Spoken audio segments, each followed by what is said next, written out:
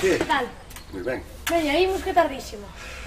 É que liaime cuns que están en Suiza, uns dai de, de Arcos tamén, que están... E viñeron que fai tres anos que non veñen, e estábame contando eu tamén fai dous que non veñen. Bueno, papá, vamos. Vamos. Queres subir ti tamén?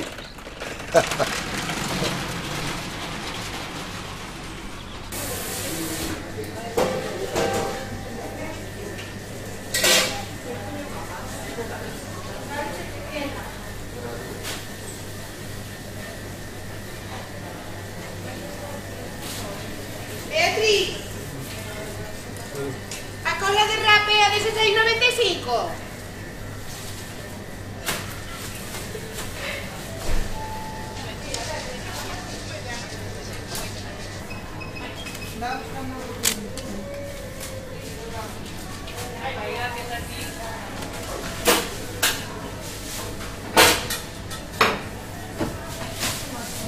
Mamá, non mires a cámara. Non mirei. Como mirar se non sei ni onde está? ti sigue traballando, como faz normalmente. Xa, xa, eu, eu traballo así.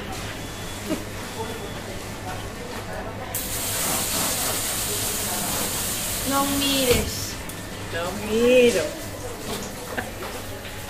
A Manolo era, de- facía de disjoque cando Eu non tiñamos. fixen algo de todo, fixen de disjockey, Cando fixen... non había grupos, había... No grupo estuvémoslo sempre. Un, polo menos. Pero pouco para turnar, Sí, cando cambiaban e Sí, tal, para pois, intercalar a música, por exemplo, cando actuaba, atua, as actuacións dos grupos e orquestas ou grupos orquestales ou bandas e tal, pois eran de unha hora, máis ou menos, e despois eh, eh, pasábamos a música disco.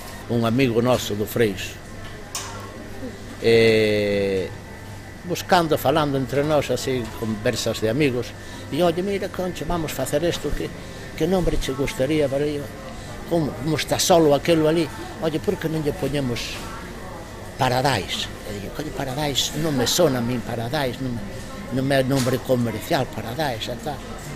E entre nós así, falando, digo, oye, Paraíso. Sempre para iso, para iso, Unha conversa de amigos. Os letreiros iban a Mazán. Como, como, Unha conversa de amigos. Como Eva. eh, sacando yo una dentallada. Eh, bueno,